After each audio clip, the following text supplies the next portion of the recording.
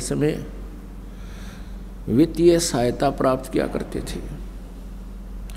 कहने का भाव ये है कि इतना सेठ होकर, इतने पैसे घर पर होते हुए सर्व सुख होते हुए, जिस पुण्यात्मा में परमात्मा की तड़फ है, उसकी चाह है तो उसके पूर्व जन्म के पुण्य कर्मों में कोई कमी नहीं होती। उसके संस्कार में कोई कमी नहीं, लेकिन कमी है, कोई त्रुटि है तो तत्व ज्ञान और परम संत की होती है। उसकी पूर्ति के लिए परमात्मा स्वयं आकर के उस प्यारी आत्मा को उस मथुरा के अंदर मिले जब धर्मदास जी तीर्थ यात्रा पर निकले हुए थे, उस लोक वेद के आधार से। परमात्मा धर्मदास जी को बता रहे हैं कि तुम जो ये तीर्थ स्नान करने जाते हो, ये बहुत ही व्यर्थ है। इसका कहीं यूज़ नहीं है। और इन यात्राओं से आपको पाप ही पाप लगता है, पुण्य कोई मिलता नहीं। भक्ति आपकी शास्त्र अनुकूल ना होने से, शास्त्र अनुसार ना होने से, गीता जी अध्याय नंबर 16 के श्लोक नंबर 23 अनुसार के जो शास्त्र विधि को त्याग कर मनमाना आचरण करते हैं, उनको न तो कोई सुख होता है, न उनकी गति होती है। और न ही उनका कोई सिद्धि प्राप्त होती है, अर्थात यूजलेस। तो तो तुम साधना कर रहे हो, हरे राम, हरे कृष्ण कृष्ण कृष्ण, हरे हरे, राधे राधे, श्याम मिला दे ओम नमः शिवाय, ओम भगवते वासुदेव नमः। ये मंत्र ही जाप करने के नहीं है, क्योंकि पवित्र गीता जी में कहीं भी इन मंत्रों का प्रावधान नहीं है और कोई आदेश नहीं है। श्रीमद् भगवत गीता और पवित्र चारों वेद, ये गॉड गिवन स्पिरिचुअल नॉलेज है। ये परमात्मा का दिया हुआ आध्यात्मिक ज्ञान है। इस ज्ञान में जो लिखा है, विधान है, उसी का हमने पालन करना चाहिए। इसको त्याग कर, यदि हम किसी लोक वेद के आधार से, किसी ऋषि मुनि के कहते हम कोई अन्य साधना कर रहे हैं तो शास्त्र विधि रहित है और जो व्यर्थ है। जिस कारण से हम परमात्मा के दोषी होते हैं, जो विधान को तोड़ देता है, वो अपराधी होता है, धारा से छोटी हो या बड़ी, अपराध उसको ने कर ही दिया। तो इसलिए हमने अपने सदग्रंथों में लिखे हुए प्रभु के आदेश का पालन करना चाहिए। श्रीमद् भगवत गीता में अध्याय नंबर तीन के श्लोक नंबर दस से लेकर पंद्रह तक स्पष्ट किया है कि जो यज्ञ नहीं करते, ये पाँचों यज्ञ नहीं करते, वो चोर हैं। और यज्ञ करने के लिए बताया है कि उस पूर्ण परमात्मा को इष्ट रूप में पूज्य मानकर उसकी भक्ति करो। तब आपके शास्त्र अनुकूल कर्म बनेंगे। उन कर्मों का फल फिर परमात्मा आपको देंगे। वो आपके पुण्य होंगे। और गीता जी अध्याय नंबर आठ के श्लोक नंबर तेरह में कहा कि ओम इति एकाक्षरम। ब्रह्म व्यवहारन माम अनुसमन, ये प्रयाति तजन देहम स याति परमाम गतिम। यो गीता ज्ञानदाता ब्रह्म कहता है कि मुझ ब्रह्म का, माम ब्रह्म, मुझ ब्रह्म का केवल ओम एक अक्षर यही है। उच्चारण करके सिमरण करता हुआ यह प्रयाति तजन देहम, जो शरीर त्याग कर जाता है, सयाति परमाम गतिम। वो ओम के सतर की, ओम नाम के जाप के सतर की जो परम गति होनी है, यानी ब्रह्म लोक प्राप्ति होती है, ओम ब्रह्म का मंत्र है और ब्रह्म लोक में वो साधक चला जाता है। गीता जी अध्याय नंबर आठ के श्लोक नंबर सोलह में लिखा है कि ब्रह्म लोक पर्यंत भी सभी लोक पुनरावृत्ति में है। वहाँ गए हुए प्राणी भी फिर पुनक्षीण होने पर फिर चौरासी लाख योनियों में अन्य प्राणियों के शरीरों में कष्ट उठाते हैं। इसलिए गीता ज्ञानदाता कहता है, सतवें अध्याय के अठारहवें श्लोक में कि मेरी भक्ति भी अनुतम है, मेरे वाली गति भी अनुतमाम अति अश्रेष्ठ है। क्योंकि गीता अध्याय नंबर चार के श्लोक नंबर पाँच और नौ में, गीता अध्याय नंबर दो के श्लोक नंबर बारह में, गीता ज्ञानदाता कहता है, अर्जुन, तेरे और मेरे बहुत जन्म हो चुके हैं। आगे भी होंगे, ये ना सोच के हम अभी अभी जन्मे हैं। इसलिए गीता जी अध्याय नंबर पंद्रह के श्लोक नंबर एक से लेकर चार में सोलह और सत्रह श्लोक में स्पष्ट किया है कि जब तत्वदर्शी संत मिल जावे, तत्वदर्शी संत कैसा होगा इस उल्टे लटके हुए संसार रूपी वृक्ष के सभी पार्ट्स को, सभी विभागों को भिन्न भिन्न बतावेगा। सवेदवित वो तत्वदर्शी संत है। और उसके पश्चात इस अज्ञान रूप अज्ञान रूप इस सारे अंधकार को तत्व ज्ञान रूपी शस्त्र से काट कर, अर्थात तत्वदर्शी संत से यथार्थ ज्ञान समझकर उसके पश्चात गीता जी अध्याय नंबर पंद्रह के श्लोक नंबर चार में कहा कि उसके पश्चात परमेश्वर के उस परम पद की खोज करनी चाहिए, जहाँ जाने के बाद ये साधक फिर लौटकर कभी वापस जन्म मृत्यु में नहीं आते। और जिस परमेश्वर से संसार रूपी वृक्ष की प्रवृत्ति विस्तार को प्राप्त हुई है, यानी जिसने सारे ब्रह्मंडों की रचना की है, संसार रूपी वृक्ष को रचा है, और वो परमात्मा उसी भगवान की उसी की पूजा करनी चाहिए स्पष्ट सर्वभाव से उसकी पूजा करनी चाहिए। गीता जी अध्याय नंबर पंद्रह के श्लोक नंबर सोलह और सत्रह में ये तीन प्रभु बताए हैं। एक सरपुरुष ये ब्रह्म है अक्षर पुरुष, ये परब्रह्म है। और उत्तम पुरुष है तो अन्य परमात्मा उदारते वो परम अक्षर ब्रह्म है। जो सरपुरुष और अक्षर पुरुष से अन्य है, वो परम अक्षर ब्रह्म है। गीता जी अध्याय नंबर आठ के श्लोक नंबर एक में अर्जुन ने पूछा, परमेश्वर, वो किम तत्परम जो आपने सातवें अध्याय के उनतीसवें श्लोक में जिसके विषय में कहा है कि उस तत्परम को और पूरे ध्यात्म ज्ञान को सब कर्मों से जो जान लेता है, वो तो जन्म और मृत्यु से छूटने का ही, जरा मरण से छूटने का ही प्रयत्न करता है। जरा माने बुढ़ापा, मरण माने मृत्यु। इस कष्ट का निवारण ही चाहता है, वो संसार की कुछ भी वस्तु की डिमांड नहीं करता। तब अर्जुन ने पूछा, फिर वो किम तत्परम वो भगवान कौन है जो आपसे भी अन्य है? गीता ज्ञानदाता ने आठवें अध्याय के तीसरे श्लोक में कहा कि वो परम अक्षर ब्रह्म है। तो पुणात्मा वो परम अक्षर ब्रह्म। और उसकी साधना और पूजा गीता ज्ञानदाता कहता, मैं नहीं जानता।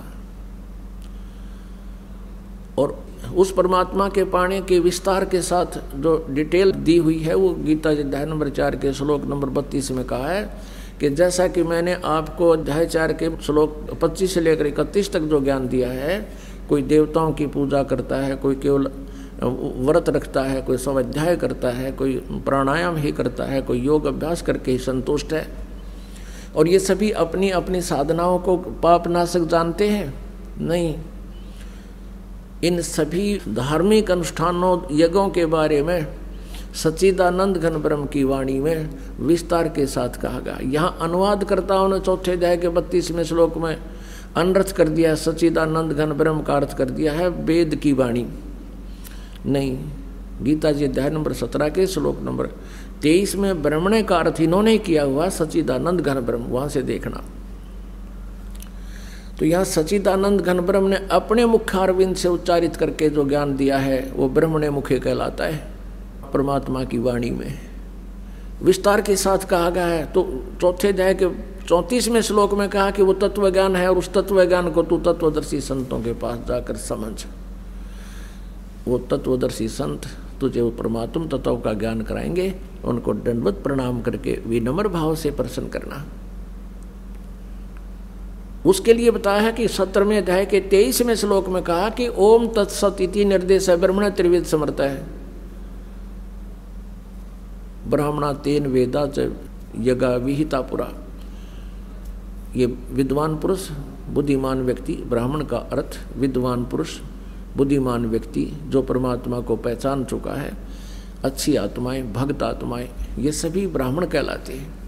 कहते उस समय प्रारंभ के अंदर अच्छी आत्माएँ उसी आधार से साधनाएँ करती हैं।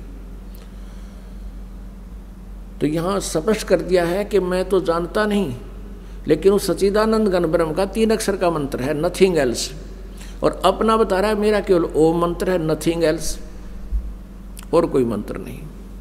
तो उस ओम तत्सत जो पूर्ण परमात्मा के पाने का जो मंत्र है, साधना है, उसके विषय में कहा कि तत्वदर्शी संत बताएँगे।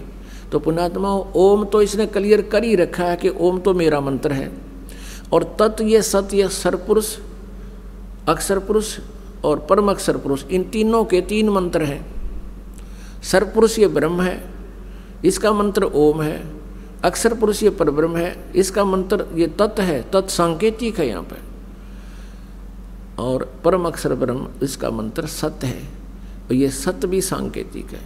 ये तीनों मिलकर के एक जाप बनता है, जिसको तीन विधि से ही, त्रिविध समर्थ है। तीन ही प्रकार से इसका सिमरण होता जो दास बता सकता है, इस पृथ्वी पर, इस ब्रह्मांड में किसी के पास नहीं है। क्योंकि धर्मदास जी को भी परमात्मा ने सब ज्ञान दे करके लास्ट में कहा था, धर्मदास तो लाख तो आई। ये सार शब्द कई बार ना जाई। सार शब्द बार जो पढ़ी, बिचली पीढ़ी हंस नहीं तेरी। अब प्रथम चरण में कलयुग में परमात्मा स्वयं आए और लास्ट का जो कलयुग का चरण होगा, वो कृतघनी प्राणी हो जाएँगे, मांसाहारी होंगे, शराब कवाबी दुराचारी, स्त्री पुरुष बुरा हाल हो जाएगा, वो भक्ति के योग नहीं रहेंगे। अब ये बीच की करीम है, ये अब बिचली पीढ़ी है। सन उन्नीस सौ सैंतालीस से भारत स्वतंत्र हुआ, और भारतवर्ष विश्व की यूनिवर्सिटी है, आध्यात्मिक यूनिवर्सिटी है विश्व की। और उन्नीस सौ सैंतालीस से पहले कोई शिक्षा भारत में नहीं थी। अब उसके बाद ये शिक्षा का दौर शुरू हुआ।